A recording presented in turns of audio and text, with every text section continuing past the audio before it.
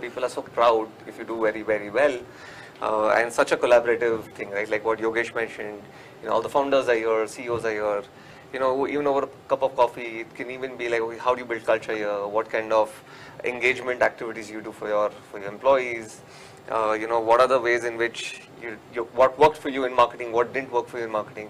You know, these smaller insights, for that matter, which helps. Let's say we are today, we are just one and a half years old, right? But I can see that I'm already three years old from a vision standpoint because many other uh, companies, especially our investors portfolio companies, which we keep talking to very proactively, they tell us things which didn't work for them early on so that we don't make those mistakes. The learning curve is much more. Yeah. That learning curve saves you time, money, right? And Yeah. as startups, what are we chasing? We're not chasing money, we're not chasing, we're chasing only time, right? How fast can we grow in the shortest time Yeah. possible?